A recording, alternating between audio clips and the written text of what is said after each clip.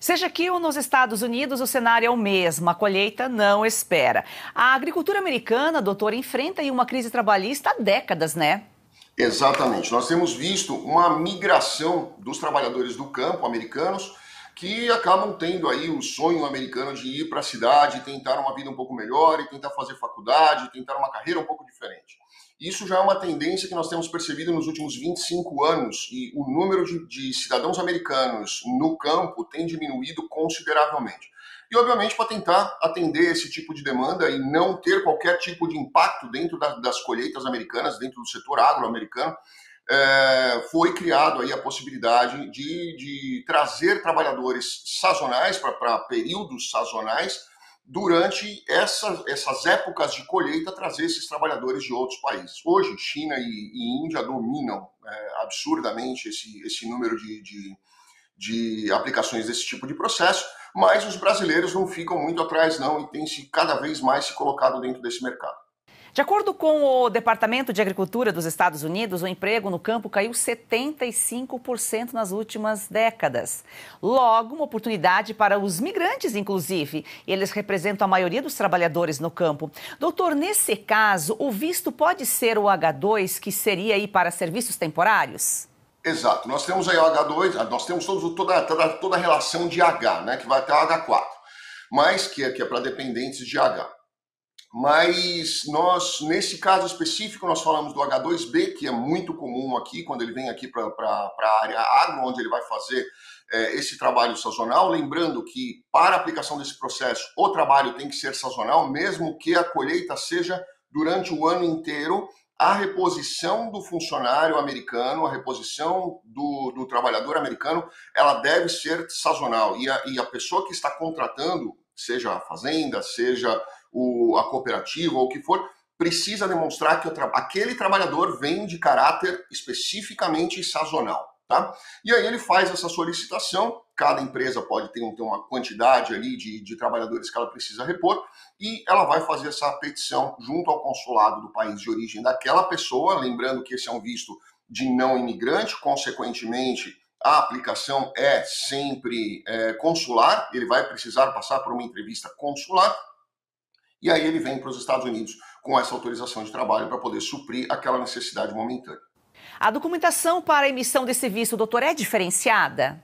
Totalmente diferenciada, porque aí nós temos um sponsorship, nós temos aí um, um apadrinhamento, vamos dizer assim, é, da empresa ou da, da fazenda ou da cooperativa que está fazendo essa oferta de trabalho essa empresa ou essa fazenda ou essa cooperativa vão fazer toda a documentação para demonstrar a necessidade da contratação daquele, daquele profissional e aí é, eles vão fazer toda a solicitação do processo de visto.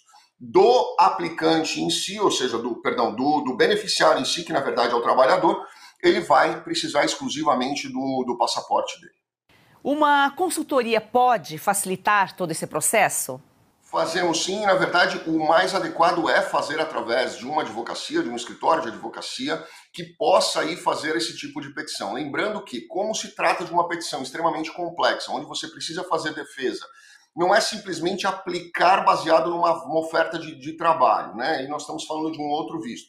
Quando nós falamos de H, nós precisamos demonstrar alguns dos requisitos. Esses requisitos se baseiam basicamente na questão da necessidade da não, da, da não possibilidade de contratação de trabalhadores locais, documentados, americanos no caso, e da sazonalidade daquele tipo de situação.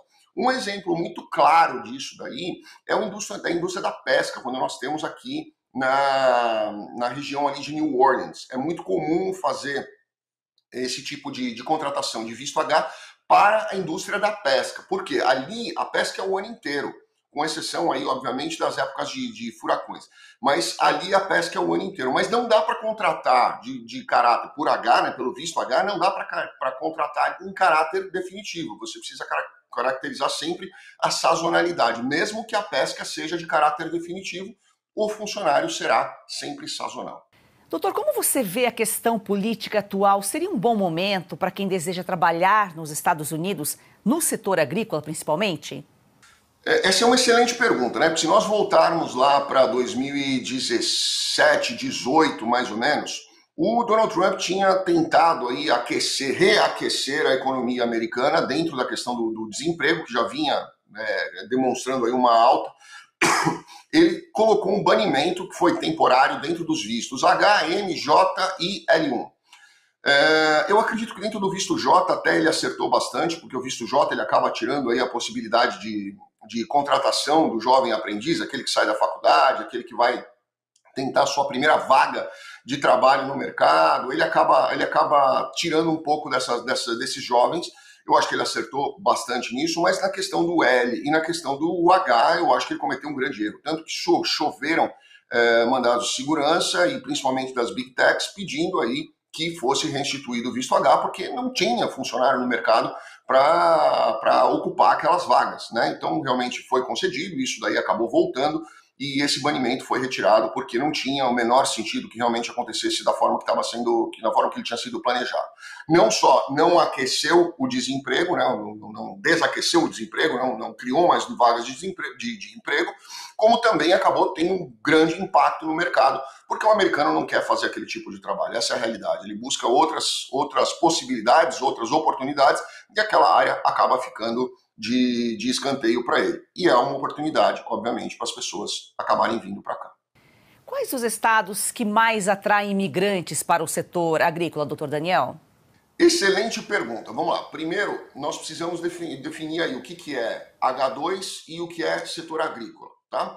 Se nós formos pensar em qual é o estado que mais traz trabalhadores para o visto H, sem dúvida nenhuma é o Texas. Mas o Texas não traz especificamente para o, o departamento agro, para a área agro. Ele traz muito para construção, para paisagismo de condomínios que acabam sendo construídos e eles precisam de trabalhadores sazonais para fazer aquela, aquela colocar grama, colocar os coqueiros, fazer a parte de decoração e tudo mais. É, tirando isso, vamos para a área agro. Nós temos aí, em primeiro lugar, Flórida, depois Califórnia. Califórnia é um grande contratador de, de H2. É, Carolina do Norte, mas lembrando que a Carolina do Norte é um lugar que neva, então, consequentemente, nós temos aí sim a questão da sazonalidade. Esses funcionários precisam estar muito atentos na época em que tem a colheita, porque logo na sequência já vem a, a, a neve. Nós temos a Louisiana, onde eu falei para você aí, que é a questão aí da, da pesca, né? Nós temos o agro e nós temos a pesca também. Nós temos a região de Nova York, mas a região de Nova York é muito específica, porque também é uma área muito fria.